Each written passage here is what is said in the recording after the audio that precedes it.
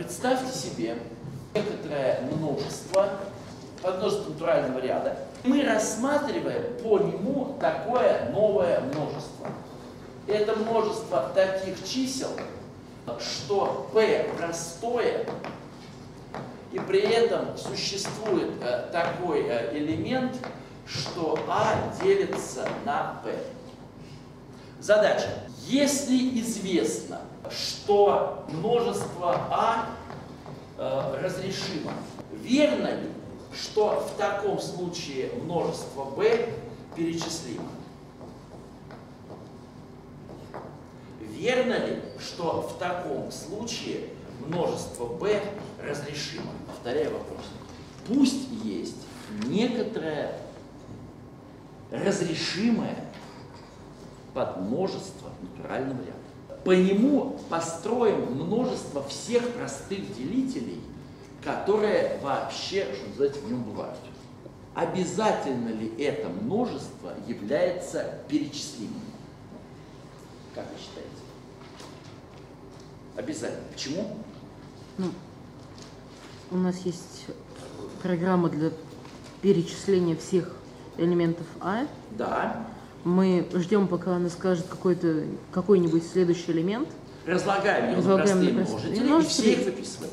Абсолютно верно. Ребята, даже если не обязательно А разрешимо, даже если мы просто знаем, что А перечислимо, просто мы можем его элементы перечислять, каждый раз разлагать на множители, и эти простые множители выписывать. Все, b обязательно перечислимо. А вот теперь действительно интересный вопрос. А обязательно ли множество b будет разрешимо? То есть оно перечислимое, но обязано ли оно быть разрешимым?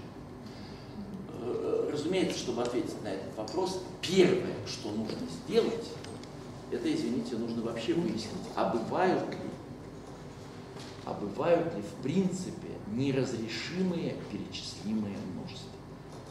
То есть в этой науке это является, что называется, абсолютным таким вот на- начальным пунктом. Да? Если вы это не знаете, то вы там ничего не знаете. Значит, э, это абсолютно фундаментальный факт. И давайте э, мы его э, запишем. Теорема. Существует неразрешимое, но при этом перечислимое множество. Разумеется, э, чтобы доказать эту теорему, разумно воспользоваться тем, что называется диагональный метод Кантера. В чем он состоит? Ребята, все, в принципе, существующие вычислимые функции можно э, мысленно пронумеровать. Вот представьте себе, что все программы, какие есть на свете, все-все-все-все, мы выпишем, расположим их э, по длине, то есть сначала выпишем все программы длины одна буква, потом все программы длины две буквы, потом все программы длины три и так далее, и так далее, и так далее. Упорядочим по длине. А внутри, когда у нас программа одной и той же длины, упорядочим их по алфавиту, ну как в словаре делают, лексикографический порядок. Э, вот. И тогда получится, что все-все-все функции у нас э, э, будут с некоторой нумерацией. Она называется Гёделева нумерация. Дело в том, что вообще одним из важнейших э, людей во всей этой науке является Гёдель. Э, Он много всего доказал, и разумно э, в честь него ее называть. Ну или там, если угодно, называйте ее главной нумерацией. Да? Вот. Такая самая-самая понятная естественная нумерация. Ну и есть, естественно, натуральные числа. 1, 2, 3, 4, 5 и так далее. Э, Вот. А дальше, собственно, как нас учит метод Кантера. Диагональный метод Кантера состоит в том, что мы должны посмотреть на диагональ. То есть рассмотреть f3 от 3, f4 от 4 и так далее, и так далее, вообще fn от n. И зафиксировать очень простую вещь. Fn от n это вычислимая функция. fn от n это, конечно же, вычислимая функция. Как любая функция, вычислимая функция, она может быть где-то определена, может быть где-то не определена.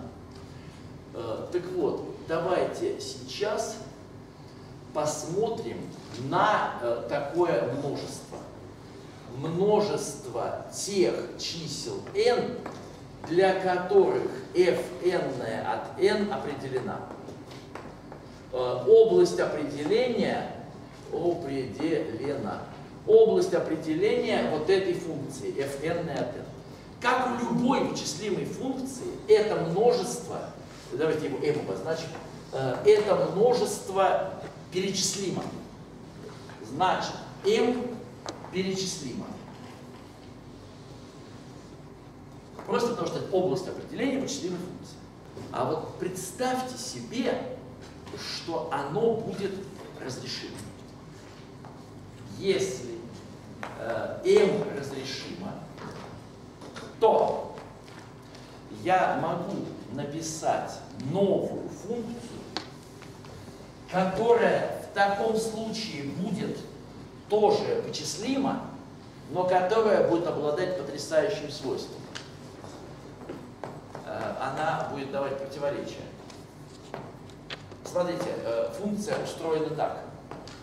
Э, это fn от единицы плюс 1, если fn от n существует. И эта единица, ну или 17, если угодно, неважно, если fn от n не существует. Ребята, смотрите, в чем идея. Если бы у меня множество m было неразрешимо, э, то вот эта фраза была бы очень странной. Потому что, собственно, как я могу узнать, существует или нет? Но если множество разрешимо, то у меня есть алгоритм, который запускается и через какое-то время говорит, э, fn существует или не существует. Да? И вот если это самое m разрешимо, то такая штука является вычислимой функцией. Почему это сразу противоречие? повторяю, откуда противоречие? Э, у нас были выписаны все программы. Значит, если у меня есть вычислимая функция, значит, она одна из наших f. Что такое? Значит, есть g, это какая-то там f катая. Ну, то есть для любого числа n, что такое g равно f катая? Для любого числа n, g от n э, это fkt от n. Для любого, значит и для k тоже. То есть g от k это fkt от k. А теперь сообразите, может ли g от k равняться fkt от k? Да не может. Потому что если fkt от k существует, то у нас здесь формула не fkt от k, а fkt от k плюс 1. Значит, не равно. А если fkt от k не существует, то жетка существует. Потому что когда не существует, то ответ э, для жешки это единица. Вот э, абсолютно классическое рассуждение, называется диагональное рассуждение Кантера, приводит нас к тому, что существует неразрешимое перечислимое множество.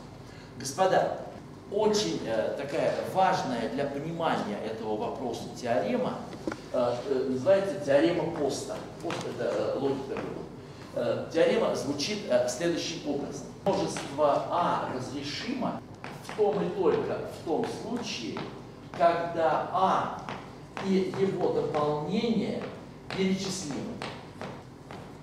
Э, давайте я объясню, почему это так. Представьте себе, что у меня есть разрешимое множество. Замечательно. Я запускаю алгоритм, про, про нужное число, интересующее меня число выясняю и, соответственно, ну как вот если мне дали какое-то число, то мне скажут, оно принадлежит, не принадлежит. Э, и автоматически получается, что понятно, да? Проблем нет, если А разрешимо. А вот представьте себе, что мы знаем, что множество А и его дополнение перечислимо. И хотим выяснить, множество, какой-то элемент принадлежит множеству А или нет. Мы делаем тогда очень просто. Мы запускаем два алгоритма. Один алгоритм нам вычисляет полухарактеристическую функцию множества А. Другой вычисляет полухарактеристическую функцию дополнения. Поскольку они вместе дают ровно натуральный ряд, то один из них на, на любом натуральном числе закончит работу. И если он вот этот закончит работу, значит принадлежит А. Если этот закончит работу, значит не принадлежит А. Идея понятна?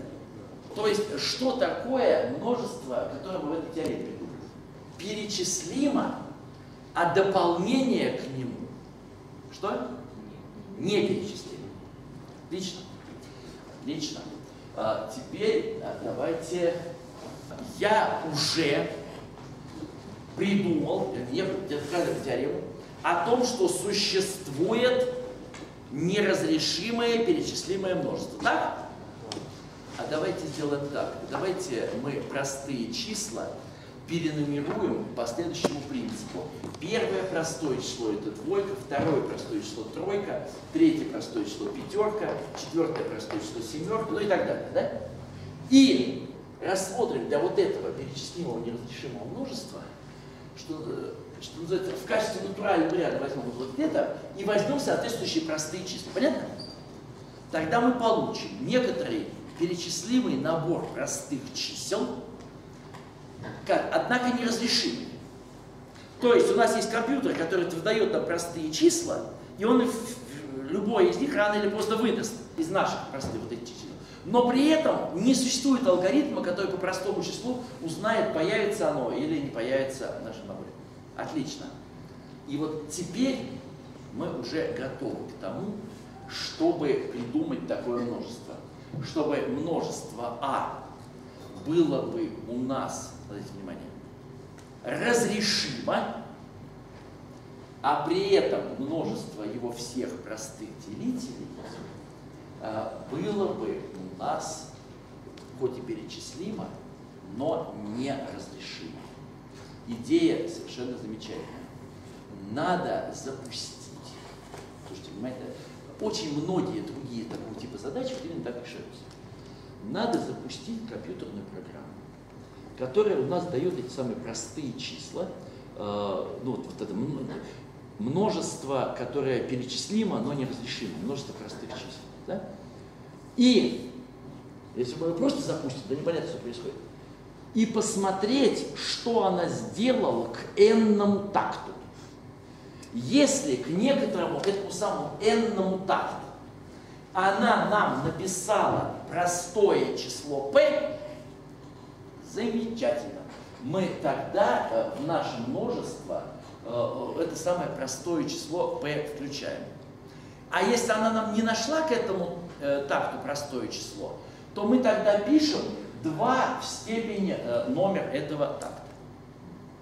Понятно, да? Э, вот. вот это неправильное решение.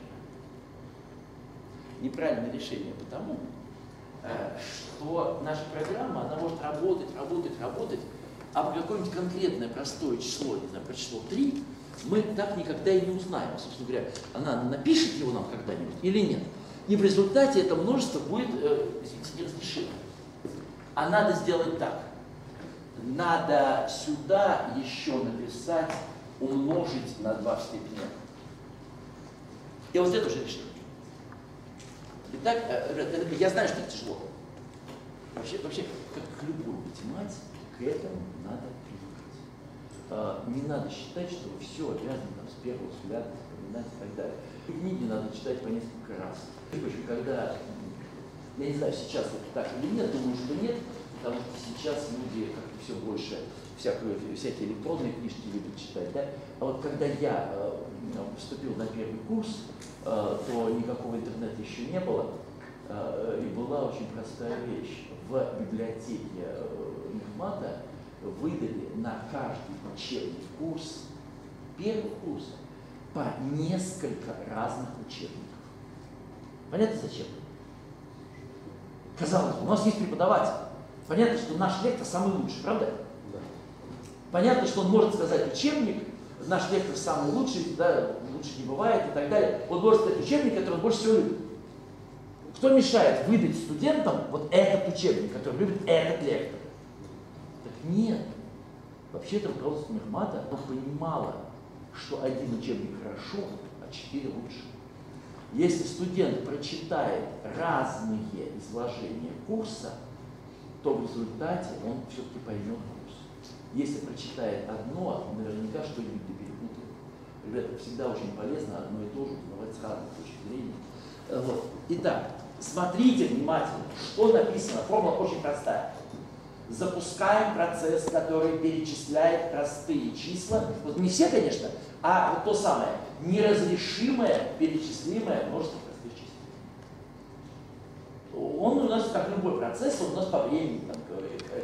Если на n такте он нам напечатает простое число p, то мы пишем, но не просто простое число p, а p умножить на 2 в степени n.